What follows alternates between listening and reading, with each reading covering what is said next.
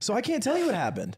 Okay, but What the hell? That's your. That's That's, but I know that's wrong. Oh that's oh the my point. god. I can't tell you what Gee, happened. but okay, I know listen. it's wrong. If you were if you were me and you just heard that, would you be convinced I'm- or care? If I if I'm telling you it's wrong, would you not even give me a chance? you just said I drank three smoke shows and then I don't really I'm know. telling you, I This don't is- know what you folks, wanted You had this. me. You had Hey. me. You could have told me anything You- there, yeah. and But I would have I don't wanna tell you 'cause but I don't wanna instead hurt of you. telling me something, you said I actually don't remember He's- anything. I'm basically saying I didn't murder the man, but I don't know who did. Hey, he uh, he drank three smoke shows, then he had some alcohol after. You know what I'm saying? Yo!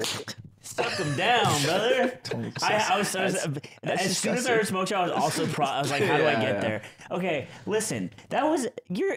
I just believe him. You're an idiot. I love you though.